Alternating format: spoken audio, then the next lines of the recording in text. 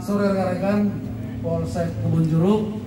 Bekerja sama dengan unit Jatan Ras Polres Jakarta Barat. Telah berhasil mengungkap kasus eh, pengeroyokan yang mengakibatkan dua orang korban luka sampai saat ini masih di rumah sakit. Kelompok yang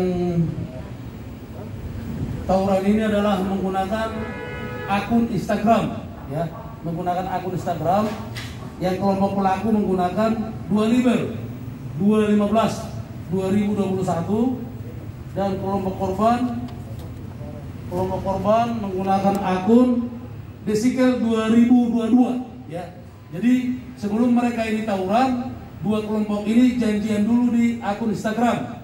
Ditentukan titiknya, ditentukan jamnya, setelah itu mereka ketemu terjadi keributan, terjadi pengeroyokan, dua orang korban di rumah sakit.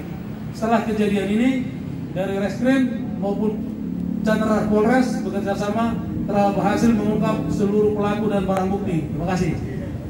Kemudian eh, korban lukanya di mana aja, Dan? Korban lukanya hampir seluruh tubuh, ada di kuping, di leher, di tangan, di paha, hampir semua, ya. Di kepala. Nih.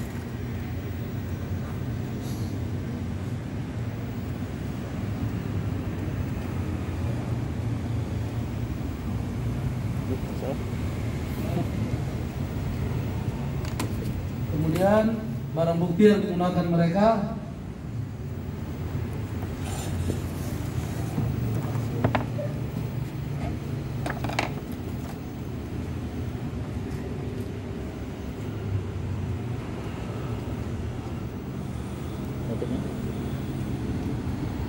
Oke.